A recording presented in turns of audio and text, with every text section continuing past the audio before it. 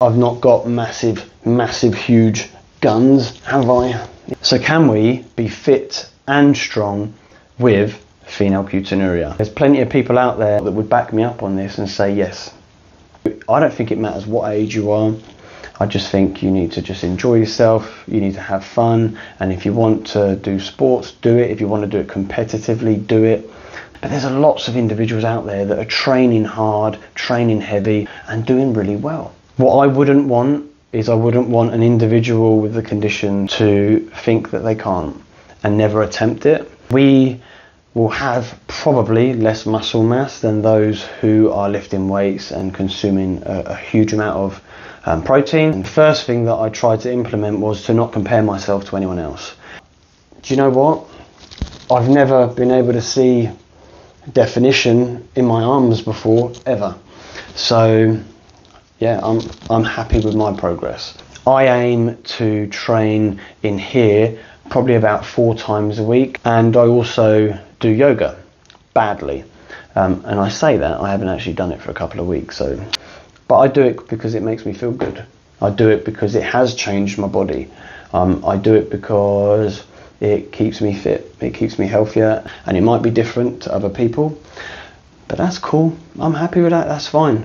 You know, everyone's doing their own thing. Everyone's trying to progress and trying to develop and trying to grow, and I'm doing me as well. Um,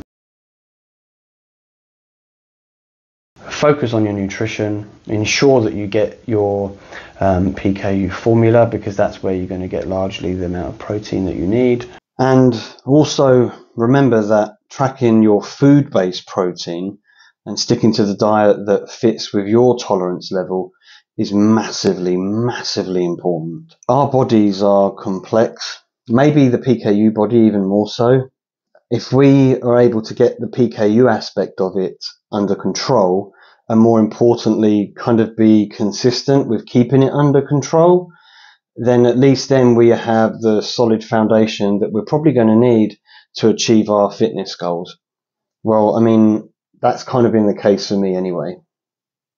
Um, but I'm also fully aware that everyone's tolerance level is different, and also other people, depending where they are in the world, are on different forms of medication. So if you are someone with PKU, if you're a teenager, if you're an adult, if you're hoping to lose weight, if you're hoping to be competitive in sports, you can 100% do it.